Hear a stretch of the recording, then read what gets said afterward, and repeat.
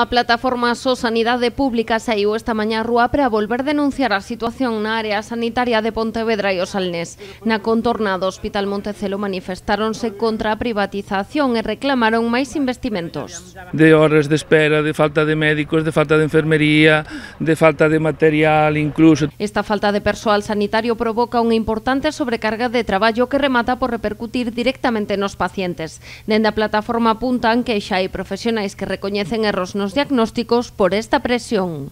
Os propios eh, médicos, os propios eh, enfermería, que din que claro, que chega un momento que están estresadísimos. Entonces eles mesmos se dan conta de que non teñen o tempo suficiente para ver e para atender a xente, entonces bueno, pois eh, se dan conta que a veces pois sí que cometen algún erro. O colectivo critica non só a xestión da xerencia da área sanitaria, tamén da Consellería de Sanidade que apunta a falta xeralizada de médicos como causa desta situación. Ou queren ir á privatización ou se non é que son incompetentes totales, non? Porque volvemos a repetir, decir, a xente non se xubila dun día para outro. Eles teñen uns cuadros de personal, ca a xubilación xa, con todo. E isto xa se sabía fai moitos anos. E non, e non puxeron nada encima para poder para poder facer isto, non?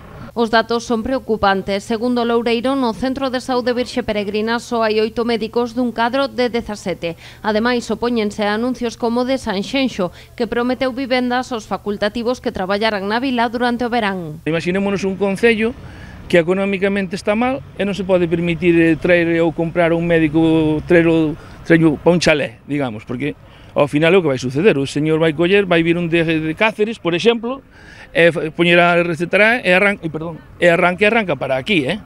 para Montecelo. Entón, non, non, non solucionamos nada. Dende a plataforma teñen solicitado unha reunión co presidente da Xunta, Alfonso Rueda. A petición foi registrada o 8 de xullo, pero lamentan que aínda non tiveran resposta.